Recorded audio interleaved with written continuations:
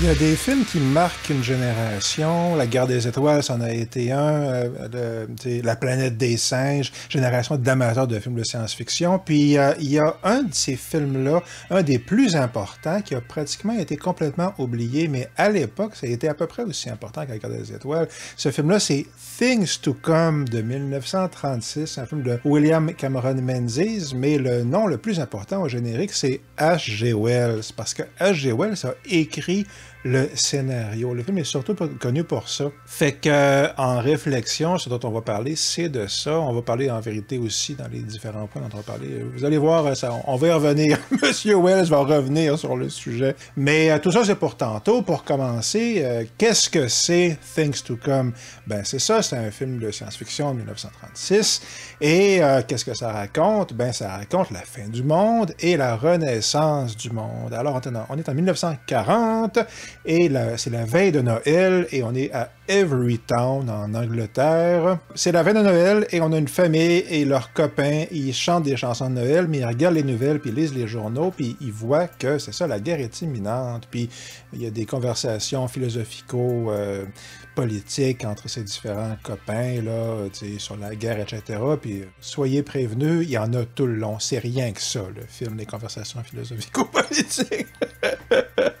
Mais euh, pendant une de leurs conversations philosophico-politiques, pendant qu'ils sont en train de manger leur dinde de Noël puis de dépacter leur char d'assaut euh, en plastique pour leurs enfants, la guerre éclate et elle va durer 15 ou 20 ans, quelque chose comme ça, assez pour détruire le monde. Le monde est détruit, mais l'humanité survit. Elle retourne à la barbarie, essentiellement une forme de, Moyen Âge avec des seigneurs de la guerre, etc. Puis on a des survivants, dont nos héros qu'on a vus au début, notre famille sympathique. Euh, ben c'est ça, il y en a un qui est un aviateur, quelque chose comme ça. Ça fait que, on le voit pendant la guerre, puis on le voit en train d'essayer de réparer les avions pour le seigneur de guerre local. Bon, mais euh, c'est ça, éventuellement, il y a un avion extrêmement futuriste, d'une technologie qu'on n'avait jamais vue euh, jusque-là, qui apparaît, puis on se rend compte qu'il y a une autre cité euh, qui a été sauvée de la catastrophe, une société de scientifiques ben là, il y a une sorte de conflit qui va s'installer, puis essentiellement, le conflit, c'est entre la science et la barbarie. Je vous laisse deviner qui est-ce qui gagne. c'est H.G. Wells, OK? Donc, H.G. Wells est pour la science. Donc, voilà, OK? Mais le suspense est intenable, je le sais. Ben, qui est-ce qui va gagner? Qu'est-ce qui va se passer? Ben, comme toujours, je vous laisse regarder le film pour le découvrir. Ça vaut la peine parce que c'est clairement un grand classique, mais il euh, faut quand même avoir euh, pas exactement les nerfs solides, mais euh, quelque chose de solide pour passer au travers. Encore une fois, j'en reparle tantôt. Avant de vous dire pourquoi c'est bon, euh, je vais faire une mention spéciale ici sur le Ciné-Club de Montréal. Et parce que je l'ai vu sur grand écran euh, la semaine dernière. J'aurais aimé ça faire la vidéo avant, mais bon, ça me prend une semaine, me voici. Le mois passé, ils ont projeté King Kong une copie argentique, je pense. Une, carrément une copie comme ça dans les années 30, avec un orchestre, un truc comme ça. Puis là, bon, c'est ça. On était 100 dans la salle à regarder une copie 35 mm avec un projectionniste, un vrai être humain projectionniste. Chapeau et merci là, au de Montréal. J'ai parlé avec les organisateurs après, un en particulier. on est allé prendre une bière après. C'est extrêmement convivial, c'est extrêmement sympathique, c'est super bien organisé. Il y a un entracte à un moment donné où on peut, pour encourager les activités, acheter des gâteaux maison faits à la main le matin même par les organisateurs. OK? Fait que c'est cool. Là. Oh, J'ai d'ailleurs acheté cette affiche magnifique de Things to Come que eux ont fait. Ça va être sur mon mur dans un futur pas trop lointain, je le crois. Ils sont très cool, ils sont très fins. Puis encore une fois, je suis sorti de là en me disant le cinéma n'est pas mort. Si t'arrives à remplir une salle complète avec du monde qui viennent voir un film relativement obscur. C'est pas, c'est pas Frankenstein, c'est pas L'homme invisible quelque chose comme ça, c'est pas Metropolis. Là. Donc c'est ça. Puis un film euh, dont on parlerait tantôt qui n'a pas que des qualités. Mais euh, tout le monde était là pour l'amour du cinéma, puis c'est ça l'énergie. J'ai eu des belles conversations avec, avec d'autres membres du public. Là. Donc j'ai adoré ça, c'est vraiment merveilleux. On est très chanceux d'avoir ça ici à Montréal. Si vous êtes dans le coin, là, ils vont, ils vont rentrer en relâche pour, euh, pour l'été, j'ai cru comprendre, mais vraiment une équipe, là, je leur lève mon chapeau, là, merveilleux. Puis en plus, ils ont, fait ils ont invité euh, une conférencière au début, parler des maquettes. C'est une fille qui, qui fait des courts-métrages avec des maquettes de style de C'était vraiment hyper, hyper, hyper cool. Elle nous a montré ses courts-métrages. C'était vraiment très, très cool. Donc, euh, merci Ciné-Club de Montréal, puis merci d'avoir organisé euh, cette projection-là. Puis encore une fois, merci de, montrer que le cinéma existe encore. Puis j'oserais dire dans le cœur du monde, qui est la seule place où est-ce que ça compte vraiment. Puis que même s'il y a des même si c'est en train d'être cynique, puis même si les productions dans les salles officielles présentement, euh, même si c'est pas ça qui va nourrir l'amour du cinéma de la plupart des gens, mais ce qu'on se rend compte, c'est non, non, ça existe encore. Ça fait que merci. J'embarque là dans le, cœur, dans, la vidéo en tant que telle. Pourquoi c'est bon, Things to Come. Première raison, c'est que c'est vraiment le guerre des étoiles des années 30. Puis qu'est-ce que je veux dire par là? C'est que c'est une super production avec des effets spéciaux absolument extraordinaires. Parle aussi encore un petit peu tantôt. Puis c'est surtout un film qui a marqué toute une génération d'amateurs de, de science-fiction puis d'auteurs de science-fiction. Alors, c'est pas tout le monde qui a aimé ça parce que j'en reparle tantôt, mais euh, tu sais, dans, dans la fameuse encyclopédie de Phil Hardy de la science-fiction, dont je parle assez souvent, ben déjà, je fais remarquer que pour chaque décennie, il y a une illustration de deux pages. Là encore, pour les années 30, ben c'est Things to Come. Ça, c'est l'état de la ville après la destruction, pas avant, vous l'aurez deviné. c'est un film assez important pour représenter les années 30 là-dedans. Les années 70, c'est Alien, etc. Bon. Mais ce qui est vraiment intéressant, c'est directement lié. Euh, c'est une des raisons pour lesquelles j'en parle. Monsieur Hardy a demandé à un certain nombre d'auteurs de, science-fiction, Arthur C. Clarke, Harry Harrison, puis des collaborateurs aussi de son encyclopédie, de, de faire leur liste des meilleurs films de science-fiction.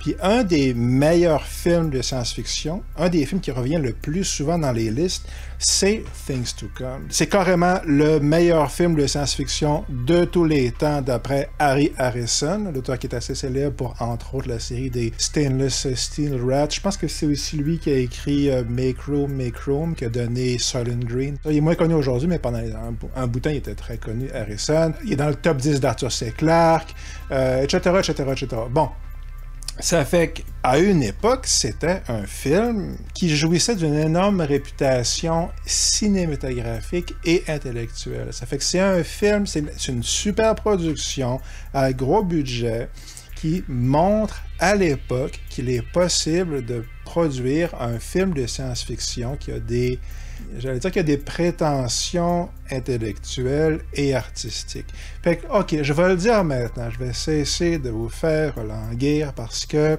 je vais en reparler pour le troisième point, mais le film est plate. Ok? OK.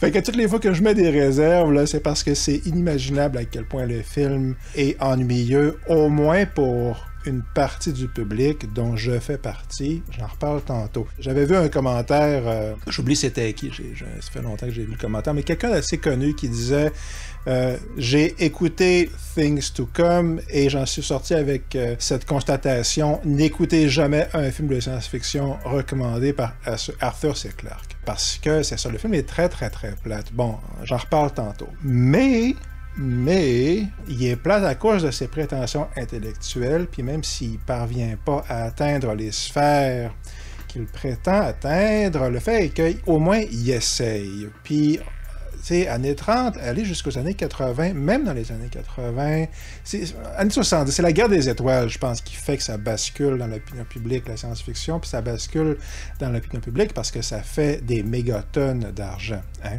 Donc, ah, soudain, c'est artistiquement intéressant parce que le cash rentre dans la cabane. Mais aller jusque-là, c'était considéré comme de l'art plus ou moins dégénéré. C'est bon pour les troglodytes et les cro-magnons, la science-fiction, dans l'imaginaire collectif. Un peu comme les, super-héros. Encore une fois, dans le discours collectif intellectuel, c'était considéré comme de la sous-littérature pour, euh, pour demeurer essentiellement. Fait qu'évidemment, c'est pas mon opinion, mais c'est une opinion qui était très répandue à l'époque. Puis euh, je pense que Things to Come a longtemps représenté dans l'esprit des gens qui étaient à juste titre blessés de ce mépris injustifié, ben, tu sais, dans leur esprit, ils se disaient, ben, voyez bien que c'est pas vrai, on a Things to Come, c'est un grand chef-d'œuvre artistique avec, tu sais, puis c'est hyper bien tourné. William Cameron Menzies, qui a fait aussi Invaders from Mars, puis a fait euh, un paquet de films. Euh, il a beaucoup travaillé, non seulement comme réalisateur, mais aussi comme euh, directeur artistique, donc la gestion de l'aspect visuel, etc. Mais j'ai, tu sais, puis il est très, très, très, très, très, très, très, très bon pour le visuel, la réalisation, la direction, puis tout ça. Il est très fort, William Cameron Menzies. Puis ça, j'ai écouté The Maze hier, un autre de ses films à petit budget des années 50. L'histoire est boboche, mais visuellement, c'est malade mental. Fait que toutes ces qualités-là, on les a dans, dans Things to Come.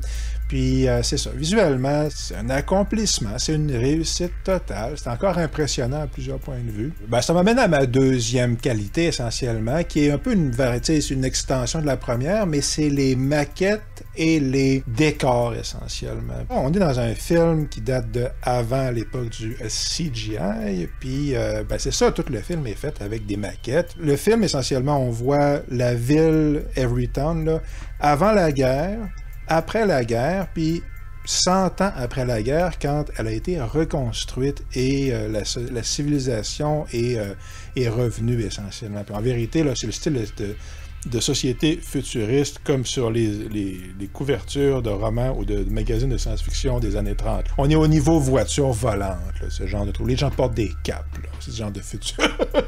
Mais, c'est ça, euh, le, dernier tiers du film, essentiellement, on est dans cette cité souterraine qui a été reconstruite. Il y a une partie de ça qui est construite avec des maquettes, puis il y a une partie de ça qui est construite en vrai décor. Puis honnêtement, même sur grand écran, même avec mon œil de quelqu'un qui a vu un, beaucoup de films, puis beaucoup de films à notre époque avec des effets spéciaux, qui est habitué d'en voir, moi j'ai été truqué. Ne pouvais pas, je n'étais pas capable de faire la distinction entre la maquette et le vrai décor. Bon, on a des maquettes au niveau des combats, les chars d'assaut, mais aussi les avions, puis les, en particulier les avions justement de cette société euh, de savants, technocrates qui, qui, reviennent dans la, chez le, seigneur de la guerre pour, euh, bon, pour proposer. Euh, j'en parle tantôt. Mais c'est ça, quand on voit ces avions futuristes qui font un peu penser aux ailes volantes que les nazis euh, avaient pendant un bout de temps, ben, ils sont très très cool ces avions-là. C'est vraiment très réussi. Ça fait c'est ça. La deuxième, deuxième raison du film, c'est cet aspect-là en particulier, non seulement des des effets spéciaux, mais c'est ça, les maquettes puis les décors. Puis encore une fois, j'en parle parce que J'en fais un point à part parce que c'est un point à part, mais aussi pour rendre hommage au Ciné-Club de Montréal, euh, qui, euh, puis à la fille, qui, je vais pas noter son nom, là, mais encore une fois, c'est très cool. Puis, euh, troisième raison pour laquelle c'est bon, c'est H.G. Wells, mais j'y ai pensé avant de le mettre parce que la vérité, c'est qu'on n'a pas le choix de le mettre comme raison de regarder le film, certainement. Je dois dire, ok, je vais commencer par ça.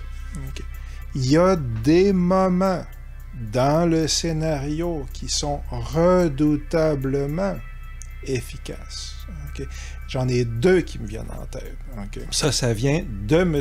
Wells. Alors, on a premièrement quand euh, ben, juste quand la ville est détruite, puis quand on passe de la ville à notre époque avec le Bannerwood dans les années 40, la ville britannique de 1940 avec euh, les sapins de Noël, etc. Puis quand on, on passe de, on fait la transition entre ça puis la ville dévastée post-apocalyptique, c'est venu me chercher. J'ai émotivement été horrifié, terrifié, bouleversé par cette transition-là. Puis c'est en partie à cause de Menzies, mais c'est aussi à cause de la manière dont H.G. Wells met ça en scène puis présente ça. C'est assez habile.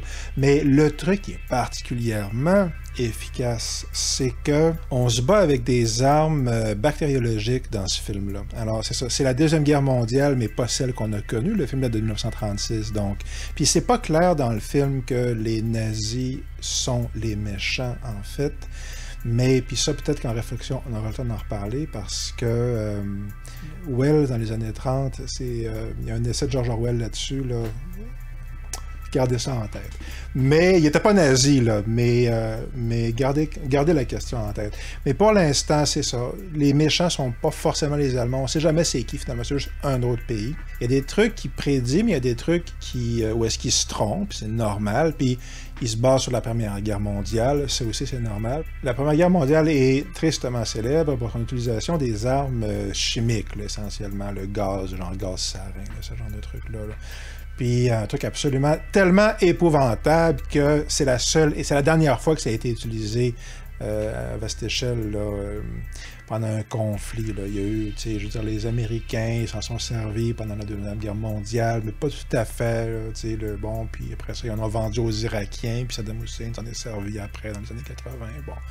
Mais, euh, mais c'était pas à ce niveau-là, c'était pas le même genre de... C'était pas, pas tout à fait pareil, le, le, fait est que c'était tellement horrible, la guerre avec les masques à gaz, puis tout ça, que tout le monde s'est mis d'accord que non, non, ça, on est d'accord, nous sommes tous des fous furieux et des criminels ici, mais nous sommes tous d'accord que plus jamais aucun d'entre nous va utiliser ça. Puis tout le monde a dit oui, puis à ce jour, ça marche encore. Ça fait que c'était mauvais à ce point-là. OK? Là, les gaz pendant la Première Guerre mondiale. Bon. Mais euh, G. Wells, dans son esprit, puis il y a, a d'excellentes Je veux dire, il ne pouvait pas deviner que ça tiendrait, que même les nazis refuseraient d'utiliser ces armes-là. Fait que dans son film, il y a des, il y a des armes, euh, des armes toxiques, bactériologiques, etc. Puis justement, ben, après la dévastation, ben, la guerre continue essentiellement. Mais là, c'est rendu tel chef de guerre, comme je mentionnais, qui se bat contre tel autre chef de guerre. Un des camps, où ça date devant la guerre, peu importe, a développé une arme qui transforme les gens. Ils appellent ça de walking plague. Donc, c'est la peste, la peste marchande, essentiellement. La peste itinérante, ou quelque chose comme ça. Puis, essentiellement, ce que ça fait, c'est que les gens tombent hyper malades, puis après ça, ils se lèvent après 3-4 jours, quelque chose comme ça, puis ils font juste marcher un peu comme des zombies, mais c'est pas des morts vivants, ils sont encore... C'est plus des lépreux, essentiellement. C'est ultra contagieux, personne ne s'en remet, puis évidemment, euh, il n'y a plus de médecine nulle part, il y a, de... y a encore des médecins, mais il n'y a, plus... a plus de médicaments. Fait que les gens doivent être abattus sur place. Euh, ça, cet aspect-là du scénario, moi, ça m'a, ça m'a terrifié. Je veux dire, c'est extrêmement efficace.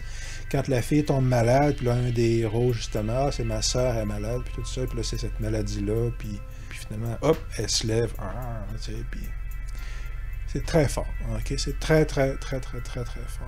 Puis ça, c'est H.G. Wells qui a créé ça, puis il a réussi. Là où est-ce qu'il réussit pas, c'est quasiment tout le reste. Parce que, écoutez, moi, H.G. Wells, comme tout le monde, je l'aime énormément. mais je l'aime énormément, comme tout le monde, pour ses romans des années, euh, tu sais, euh, L'homme invisible, puis La guerre des mondes, puis guerre des mondes, je ne l'ai pas encore lu, mais tu sais, L'île du docteur Moreau, j'ai absolument adoré ça, euh, etc.. C'est cinq ou six, quatre ou cinq chefs-d'œuvre, La machine à explorer le temps, ça, je l'ai lu, c'est malade mental, c'est hallucinant, OK? Puis dans tous ces livres-là, la, conscience socialiste et pacifiste de Wells se sent à chaque page et dans ses romans, par écrit, c'est extrêmement efficace. Mais euh, ça, c'est Wells, romancier, dans sa genre vingtaine. C'est ça, début du siècle. Je n'ai pas noté les années, là, mais c'est 30 ans avant ce film-là. Puis rendu là, euh, le H.G. Wells qui écrit le scénario, on se rend pas compte, nous, à notre époque, mais pour la génération de George Orwell, genre les, gens qui ont grandi en Angleterre dans les années 10-20, quelque chose comme ça, le plus grand auteur, le plus grand intellectuel à beaucoup de points de vue au monde, c'est H.G. Wells. Puis rendu dans les années 30, H.G. Wells, là, c'est à beaucoup de points de vue, tu sais, c'est possiblement, d'après ce que, tu je me encore une fois sur le site George Orwell, mais C'est possiblement l'intellectuel public le plus important, certainement, de l'Empire britannique. C'est une méga, méga superstar. Puis euh, il y a encore les mêmes, euh, le même discours socialiste, puis tout ça. Puis moi, comme gars, gars qui vous parle, je suis plutôt si si j'étais obligé sur une île déserte là, de dire plutôt gauche ou droite, ben je suis plutôt à gauche. Sur papier, quand je lis qu'est-ce que dit, ouais, le partage, l'entraide, ben oui, moi je crois dur comme fer à ça. Puis la paix dans le monde, ben oui, je crois à ça, dur comme fer, moi. Mais tout le film n'est qu'un long, long, long plaidoyer hyper superficiel pour ces valeurs-là. Fait que même si c'est mes, même si c'est mes valeurs à moi, c'est pas bon, là. C'est ça. Il faut le dire. à ce niveau-là, H.G. Wells échoue lamentablement. Puis l'effet que ça produit, ben c'est ça, tout le monde. Je, vais être court là-dessus parce que, encore une fois, le but de la chaîne ici, c'est mettre l'accent sur le positif.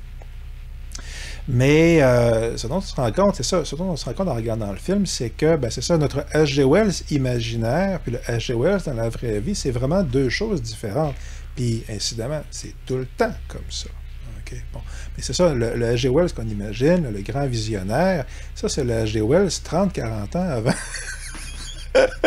Puis là, on a essentiellement le. Wells qui dit exactement la même chose, mais c'est le. Wells institutionnel. Puis ce que je vous dis là, c'est en bonne partie exactement ce que Orwell dit dans son essai. Un essai très très court que je vous encourage de lire. Je n'ai pas sorti mon édition, mais c'est facile relativement facile à trouver. Puis c'est ça, dans le film de, de, de. Wells, puis là je finis là-dessus, tout le monde est tout le temps en train de parler en slogan puis euh, tout le monde est une caricature soit de la science, soit de l'anti-science. Tous les, gens sont soit pour le progrès, puis là, ils disent Ah, le progrès, c'est tellement une bonne chose. Puis là, le médecin, je t'ai parlé de le médecin, là, si seulement la médecine. Puis là, il passe sur une, tirade. Là. Il est impossible dans ces circonstances de produire de la médecine parce que le progrès est bloqué. Puis il parle comme ça, là, comme, essentiellement comme je suis en train de parler maintenant. Là, puis, ah, puis c'est c'est une caricature totale. Il n'y a aucun personnage dans ce film. Il y en a, mais c'est des, des, marionnettes en carton. Là, Puis ce à quoi ça fait penser, puis tout ça, je vais en parler dans la réflexion euh, que je vais mettre en ligne d'ici un jour ou deux. Ce à quoi ça fait penser, je regrette à dire, mais c'est, tenez-vous bien, c'est à Ayn Rand. C'est ce niveau-là. Moi qui regarde le film, tu sais, je ne veux pas dire je suis socialiste parce que c'est très connoté pour un paquet de raisons, mais euh, je recommande la lecture de Marx. Là, OK? Je sors du placard, là. il faut lire Marx, c'est brillant, puis il y a plein d'affaires, pas toutes, mais il y a plein d'affaires qui sont super intelligentes. Fait que je suis plutôt dans le camp qui trouve que Karl Marx est une excellente lecture que le camp qui dit que non, non, c'est l'antéchrist?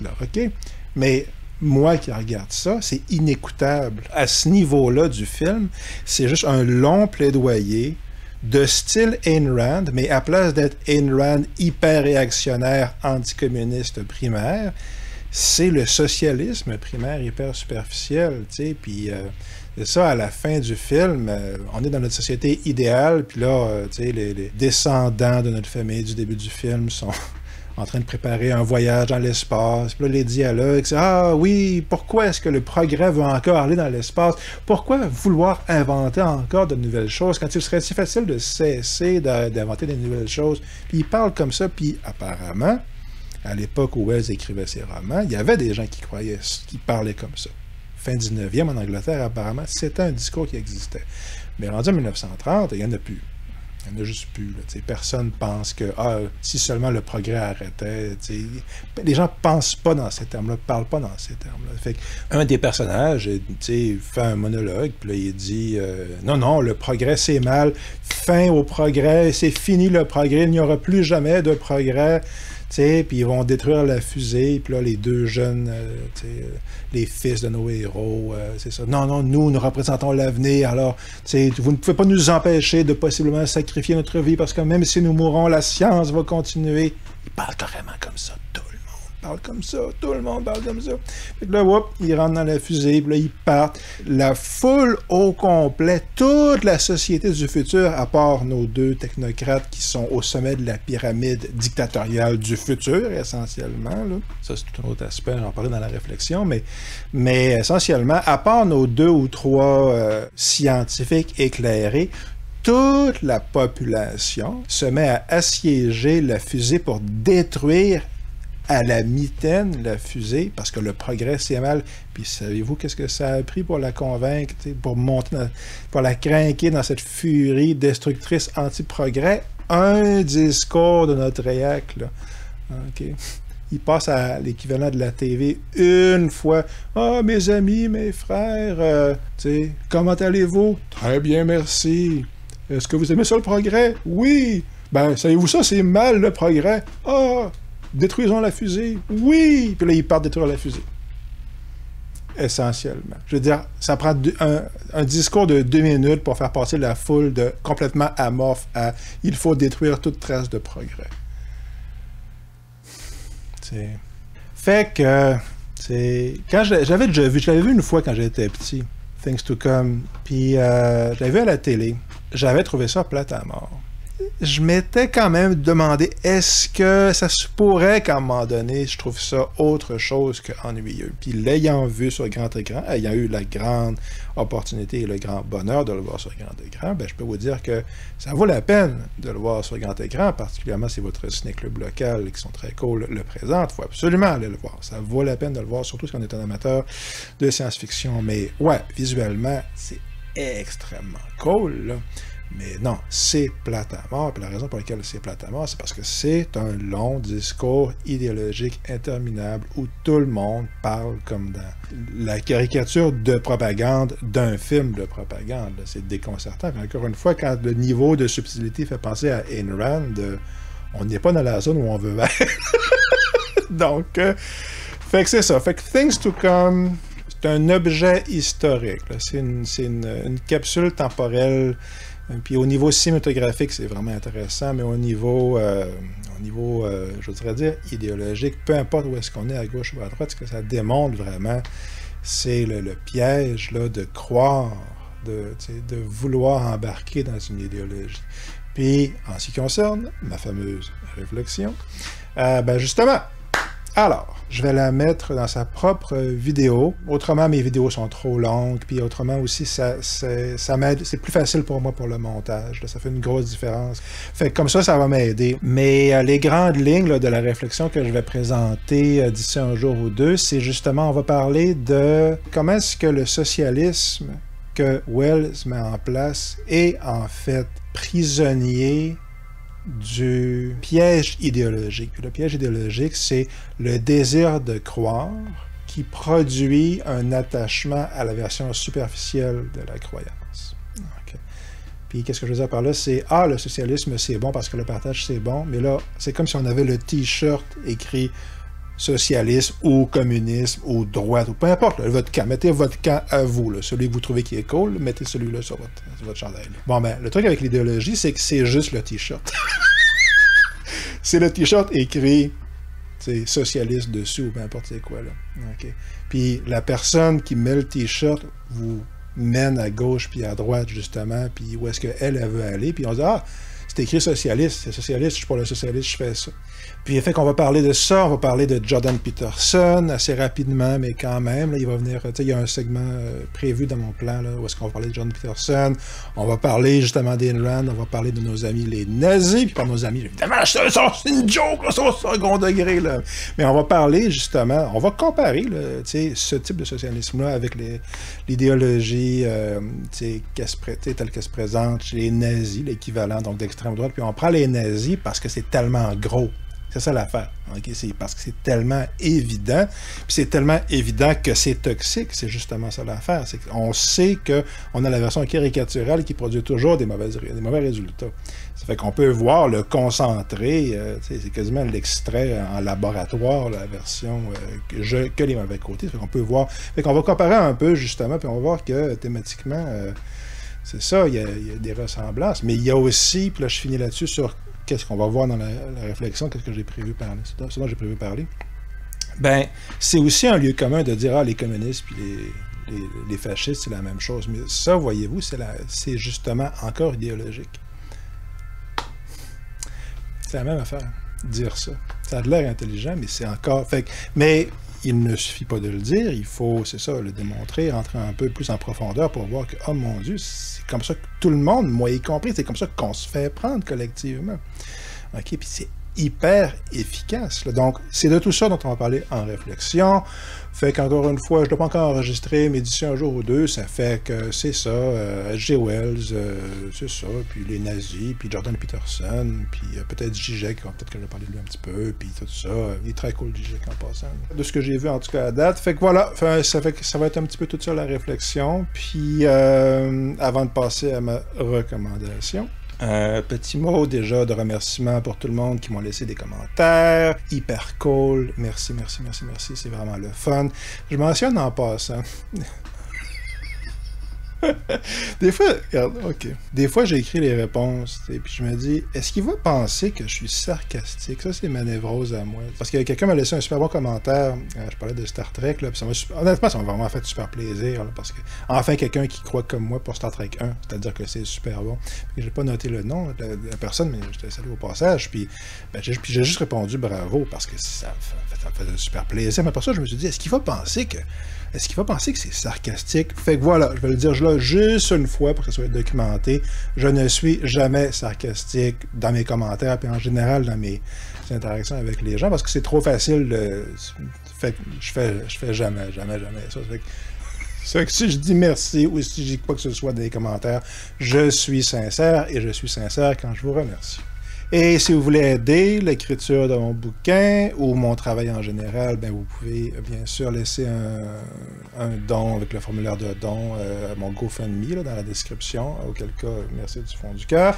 Et j'ai finalement mis du contenu sur mon Patreon. Euh, autre bonne manière de soutenir mon travail si ça vous tente. Euh, certainement, ça va me compter énormément. J'ai rajouté des vidéos bonus, mes réactions à vif, là, genre le film vient de finir de, de jouer. Puis en général, des fois c'est le lendemain mais en général, c'est quelques minutes après que le film soit fini. Là, puis là, je, fais mes, je donne mes premières réactions. Ça fait que, fait que j'ai mis ça sur le, Patreon. J'ai toutes sortes de projets pour le Patreon, mais je reviendrai. Euh, voilà. Euh, recommandation, c'était euh, The Man Who Could Work Miracles. Puis c'est un autre film signé H.G. Wells. Et donc c'est ça. Il a écrit le scénario co-écrit ici, un collaborateur, euh, son nom c'est Laios Biro ou quelque chose comme ça, un écrivain apparemment d'Europe de l'Est. Et euh, mais c'est ça, fondamentalement, c'est un scénario, euh, c'est le nom de Wells qui est au générique, qui est au-dessus du titre.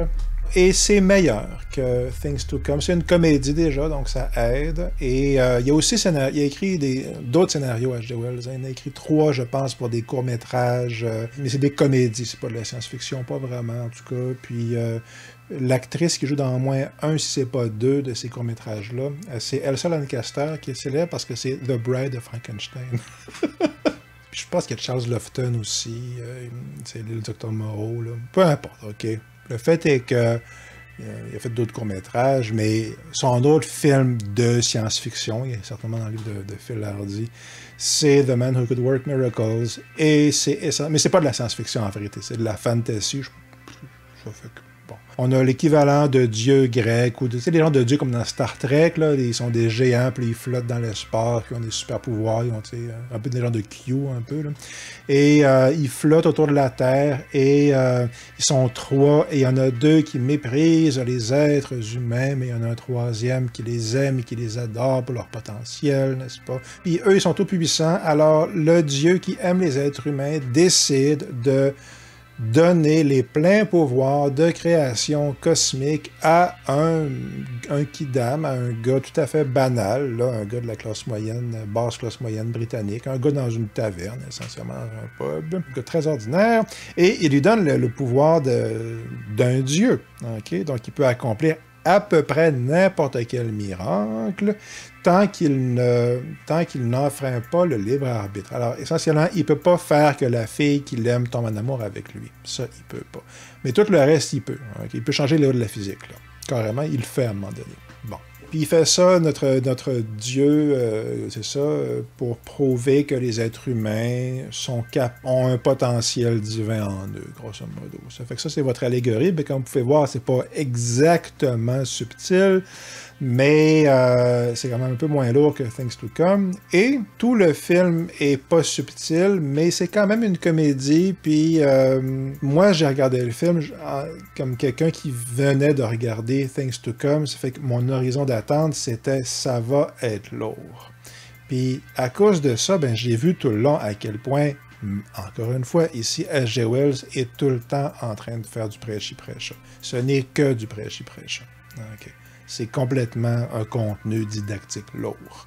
Mais, contrairement à Things to Come, si on ne le regarde pas comme ça, si, si on ne s'attend pas à voir ça, ça peut passer plus inaperçu. C'est plus écoutable essentiellement, c'est plus divertissant. Puis, je n'ai pas noté les gags que j'ai trouvés qui fonctionnaient plutôt bien, mais il y en a que qui m'ont fait relativement rigoler, si on veut. Pas des tonnes là, de gags ni de gag, ni de, rigolade. Je veux dire, je me suis pas roulé par terre à aucun moment dans le film.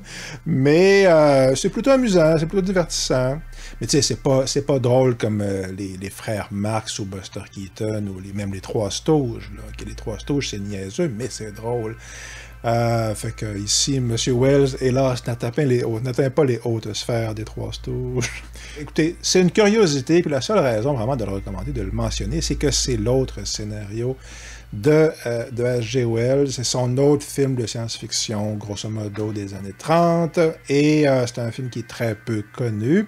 Lui est carrément tombé dans l'oubli. c'est comme des fois, des fois les gens s'en rappellent, mais euh, Man Who Could Work Miracles, c'est très, très, très obscur. Ça fait que c'est intéressant pour, pour ça de de souffler un peu, de sortir de la poussière, puis de, le cirer un peu, puis de le regarder. Puis ça vaut la peine de le voir. Ça fait un bon programme double. Puis euh, c'est une, curiosité intéressante. Mais en ce qui concerne, euh, c'est ça, euh, Things to Come, pourquoi c'est bon? Ben, c'est parce que même si c'est, même si en termes dramatiques, euh, ça fonctionne pas du tout, hélas pour M. Wells et euh, ses nobles aspirations. Le fait est que, comme, comme cinéma de science-fiction, comme film à grand déploiement, euh, ça demeure très efficace. C'est ça, uniquement au niveau visuel, les maquettes, les décors, la mise en scène, etc. À ce niveau-là, c'est hyper efficace. Puis c'est très très cool. Puis ouais, à beaucoup de points de vue, c'est ça demeure la guerre des étoiles des années 30. Et encore une fois, merci au Cinéclub de Montréal de l'avoir présenté.